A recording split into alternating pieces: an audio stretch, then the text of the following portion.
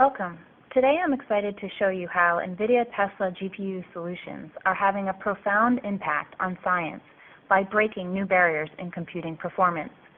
Researchers all over the world have embraced computing as the third pillar of science. Now, with Tesla GPU computing, explosive performance gains are allowing academic researchers to discover new theories, build more robust models, and publish more papers. I will share highlights of successful academic institutions and researchers achieving their goals of faster, better science while doing so within academic budget constraints.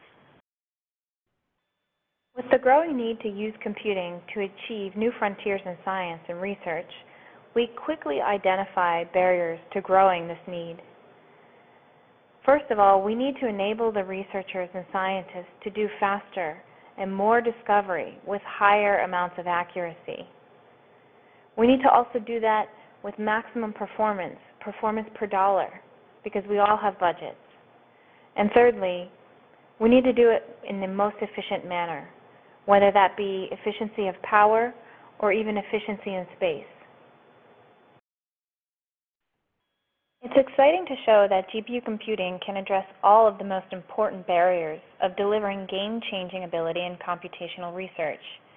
For example, AMBER, a very popular computational chemistry application, can allow researchers to see six times more simulation data per day, achieving 88 nanoseconds in a day what would take a week to simulate on CPUs alone.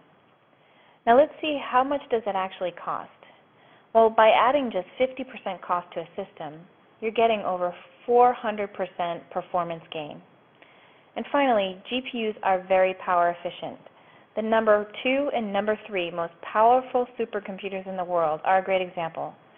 China's Tianhe 1A taking the number 2 spot is two and a half times more power efficient than Oak Ridge's Jaguar CPU-only system. We have certainly reached the inflection point of broad adoption of GPU computing. Over 500 universities are teaching GPU computing as part of their regular curriculum. In fact, this year, the Chinese Ministry of Education will be requiring 200 of their higher education institutions to make NVIDIA's CUDA parallel programming part of the curriculum. It's been a growing trend for more and more government funding being awarded to GPU projects by the NSF, NIH, or DOE.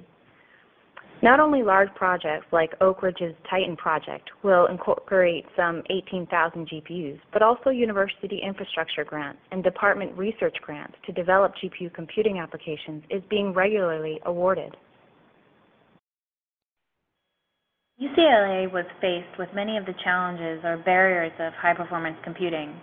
The challenges they faced were that they needed to accelerate a new innovative plasma simulation. They also needed to overcome space and power constraints. So their solution was a cluster with 96 nodes and 288 NVIDIA Tesla GPUs. The impact was considerable. The GPUs resulted in 20% higher performance with the same power cost. Additionally, the GPUs extended to new groups within departments for greater accelerated modeling. So here, we're able to offer faster and more performance, as well as fitting within a budget they had for both space and power. Let's quickly review how GPUs work in the high-performance computing architectures. GPU computing is a hybrid compute model where GPUs are combined with CPUs to achieve higher performance. When GPUs are added to CPU-based servers, the processor count increases by the hundreds. Today's CPUs are 4, 6, 8, or 12 cores, but GPUs host 512 cores per chip. This massive increase in processors allows applications to operate in parallel, enabling great application speedup. NVIDIA's GPU accelerated application footprint is growing exponentially year over year computational scientists and developers have realized that the future is in parallel computing. Native GPU acceleration has now made its way into the most widely used and published against scientific applications. This breadth of applications enables each school and department's domain scientist population, specifically those who aren't programmers, to reap the benefits of GPU acceleration. Equally important to applications enabling domain scientists, we've been developing easier and easier approaches to develop your own applications for GPUs. For fastest and easiest approach, we have our drop-in libraries. Many scientific applications make wide use of standard templates or math libraries. NVIDIA makes freely available the most commonly used, such as Thrust, a templated library, and many math libraries, such as BLAS, FFT, or sparse matrices. Another extremely non-invasive way to get application acceleration is to apply OpenACC directives to your existing application. It takes only a few lines of code to get 2 to 10 times speed up in just a matter of hours or days. Finally, if you are a developer and need the maximum amount of performance, we support you in your native programming language. Engineers and scientists worldwide rely on MATLAB to accelerate the pace of discovery, innovation, and development. In disciplines such as automotive, aerospace, electronics, financial services, biotech, and many other industries. Engineers and scientists are successfully employing GPU technology to accelerate their discipline-specific calculations. With minimal effort and without extensive knowledge of GPUs, you can now use the promising power of GPUs with MATLAB. I briefly spoke about AMBER's price performance in our opening. Now that you see how easy it is for researchers and scientists to benefit from GPU computing with ready-to-go applications or easy-to-implement developer approaches, such as directives, we should revisit price performance.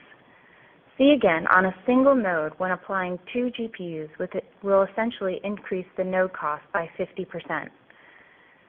We get much more than a 50% performance improvement. In fact, with the application, we achieve greater than 400% higher performance, making GPUs a clear winning investment. NAMD, another extremely popular molecular dynamics package, here is showing that it gets up to a 7 times speed up with GPUs. We've benchmarked it with a typical STM-V benchmark, which is a million atoms. This is a very large system. But these are the systems and the simulation times needed for researchers to make breakthroughs in science. Today more than ever, it's easier for researchers, scientists, and academic institutions to benefit from GPU computing. We have ready-to-go GPU-accelerated applications, see the Applications Catalog. We are continuously investing in creating the easiest approaches to quickly accelerating your own applications, OpenACC directives being our latest development. And finally, the GPU SIM cluster is the ideal solution to easily test how a particular application accelerates on GPUs and the GPU SIM cluster is pre-configured for easy purchase and installation. Thank you for following along. I hope we've proven to you that GPU computing is making extraordinary contributions to science and research. Now is the time to reach your next computing achievements by investing in NVIDIA Tesla GPUs, which have worldwide adoption and world-class developer support.